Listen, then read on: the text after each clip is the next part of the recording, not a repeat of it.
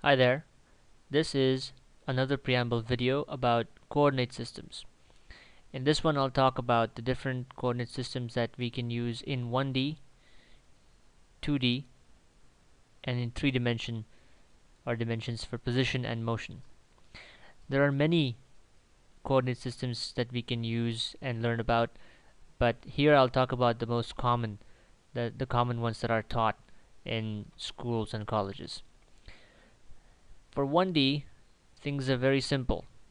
Because position and motion is only in the one direction or along a straight line, we can only use one type of coordinate system and it is called the Cartesian coordinate system. Suppose that on this straight line here we have a an origin 0 and at some point say xn there is an object A. We can say that the position of this object A is basically at xn. However, you'll notice that there is a distance that this object is at from the origin. If we say the distance is s, we can calculate s as a difference between xn and the origin which happens to be 0 therefore the distance itself is xn. Except for the fact that if I now shift the origin that is if I draw the line on the x-axis backwards toward the negative x and if I say that some point x or negative x1 is the origin instead of 0 then the distance traveled will be to negative x1 so s will change to being xn minus negative x1 which will be simply xn plus x1 and that's another method of stating the position of A could be from could be say at distance s from uh, the origin which in this case it could be either 0 or it could be from negative x1 and that's the most common system used for 1D position and motion. For 2D things start to get a little more interesting. There are two ways to demonstrate position and motion in 2D the first one is the Cartesian system. And if I draw a plane which is what 2D position motion is in is in two dimensions. So there's your x and y dimensions. And suppose there lies an object A at this point. If I were to project this point on the x-axis I would get the x coordinate let's say xn. And if I were to do the same project the point on the y-axis I would get the y coordinate of the object and this is all there is to the Cartesian system. You would say the position of A is at xn and yn. And that is the simplest way in 2D to state the position and motion of an object. The second way to do it is by using again in 2D is by using a system known as the polar coordinate system Let's draw that plane again and I'll demonstrate to you what it is. So here's the object again, A, at some point. Now, if I were to draw a line from the origin to that object, what I have done is immediately I've created a distance, S, that this object is, is at. What would this distance S be equal to? Remember the projection from the previous slide and you'll notice that S forms a right angle triangle with the x and y uh, coordinates of that object A. So let me draw that triangle again and this is your yn and this is your xn and this is your s. And from Pythagorean theorem you know that s is equal to the under root of xn squared plus yn squared. Now that we know s let's go back to this plane. Notice that there are two angles. One from the x-axis to s let's call that theta x and one from the y-axis to s let's call that theta y. Notice that when I add up the two angles they equal 90 degrees meaning theta x plus theta y is equal to 90 degrees. And this is the second polar way of stating position. We would say that the position of A is some distance s that distance but at some angle theta x. Theta x would be from the x-axis or we can say it's some distance s at some angle theta y which would be from the y-axis suppose if you were given s theta x or s theta y how would you go about calculating xn and yn? It's pretty simple. Xn would be equal to s multiplied by the cosine of the angle theta x. And yn would be equal to s multiplied by the sine of the angle theta y. Also, once you get xn, you can go back to this formula here and reverse calculate it for yn. So there are many ways to do it. This is the polar coordinate for 2D. Now we can move on to 3D coordinate systems. For 3D, there are three types of coordinate systems which we can use. The first one, the easiest one, it has common, it has some commonalities with the uh, 2D cor uh, the corresponding system for 2D, the Cartesian coordinate system, and this one is exactly what you think it is. If I were to draw the 3D space with my x, y, and z axes, and I suppose that there's this point at which there's an object A, and if I were to project that point onto the xy plane and project it further to the x and y axes just like 2D, I immediately have xn and yn, which are the x and y coordinates of the object. And now if I were to project this point over to the xz plane, I can project it further to the z-axis and get my third coordinate. And that's basically how you would state the position of A in 3D Cartesian coordinate system. That position is at xn, yn, and Zn. And that is the simplest way to do it in 3D. The next way to do it for 3D is to use a system known as the cylindrical coordinate system. And here's how it works. Let me draw that 3D space again. With the x, y, and z coordinates or axes. And here's your point. Where lies the object A? Now as before with the polar coordinate systems for 2D if I were to draw a straight line here what I have done is I have drawn a distance. Here we can call it the radius r of that object's position at any point in 3D space. Now if I drop or project this point as before to the xy plane instead of further projecting it onto the axes I can draw another line from the center to that point and that would also be r. But this has an angle from the x-axis. Let's call that angle theta.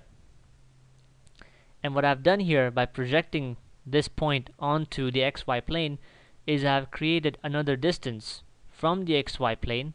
Let's call that h. So in cylindrical coordinate systems we can state that the position of the object A is at some radius r with some angle theta from the x-axis axis and some at, some height h from the xy plane more commonly particularly in engineering and scientific and mathematic texts, you will find the following nomenclature. Instead of r, theta, and h, it'll say that the object is at some radius r with some azimuthal angle phi, which is the reference angle from a reference axis, for our case x, and at some height z. So they might call hz. And this itself tells you that this distance here, z, is from that plane there. If it were y, then you know that that angle is from the z-axis, and the distance, because it's in the y direction, that it's from the xz plane. In our case, that's not that's not the point. And that's how you would uh, portray the position of an object A in cylindrical coordinates. Now, what would you use? Where would you use cylindrical coordinates in life? It turns out there are some very fantastic uses for cylindrical coordinate systems. For example, let's say you have an aircraft engine.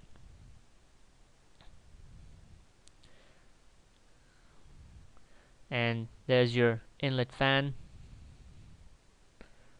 And you have some component at that location A, say. A very good way to describe the location of that component A with respect to the very front of the engine which would be our reference is use the front face of the engine and the engine axis itself and the way we would do it is first of all we would project that point A onto the front face so if I were to draw the front face looking toward the back that's your center line right there going through the screen. And here's your point being projected onto that plane the front the front face. And you have that radius r.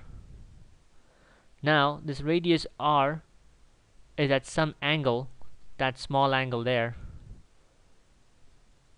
from the top dead center uh, or the north axis. And let's call that phi. And as you'll notice that here while I'm projecting I've created this distance and we'll call that z.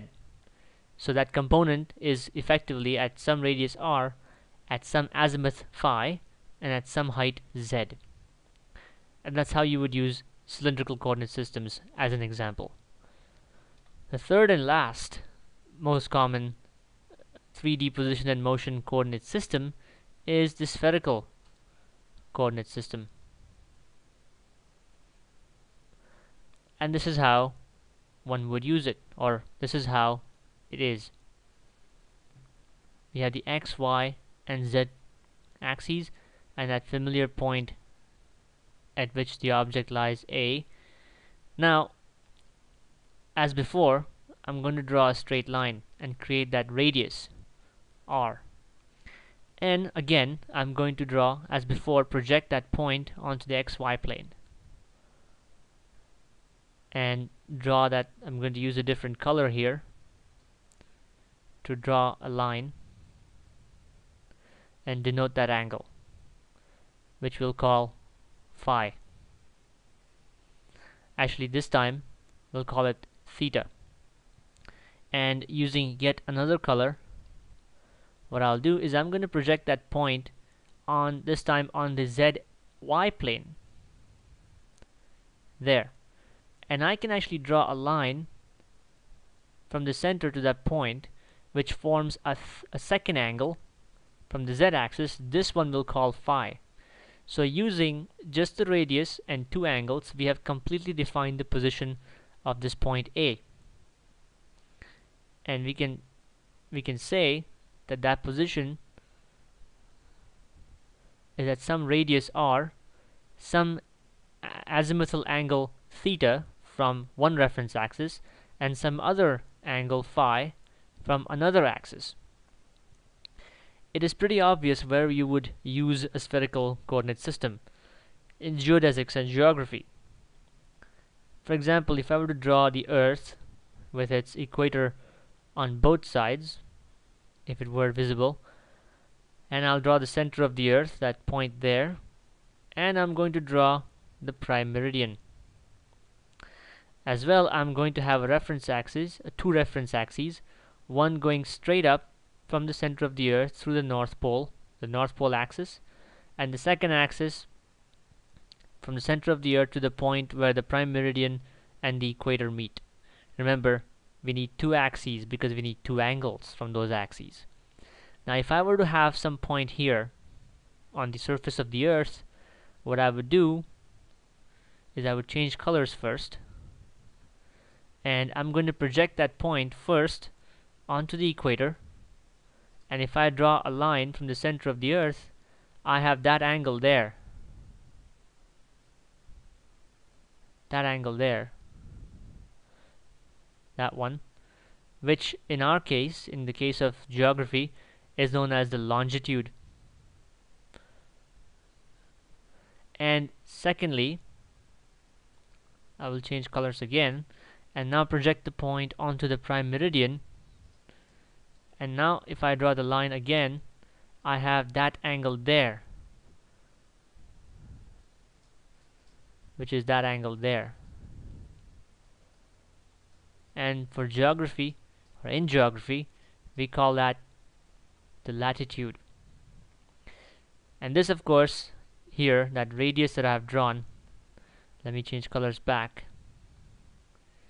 That radius here because this point is on the surface of the earth this is simply the radius of the earth.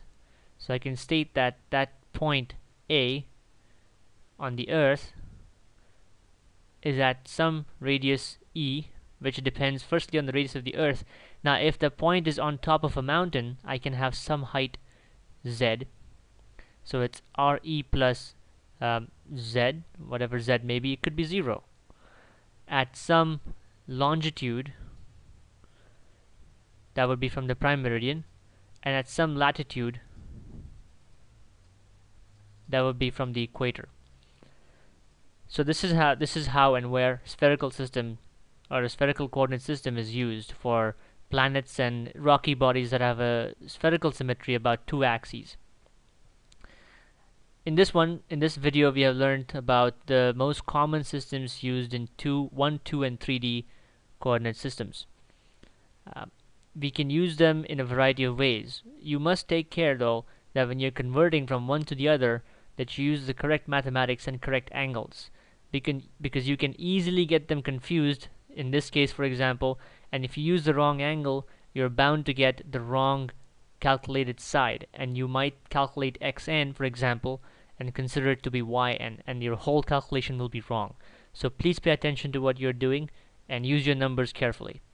Thank you for watching. Bye bye.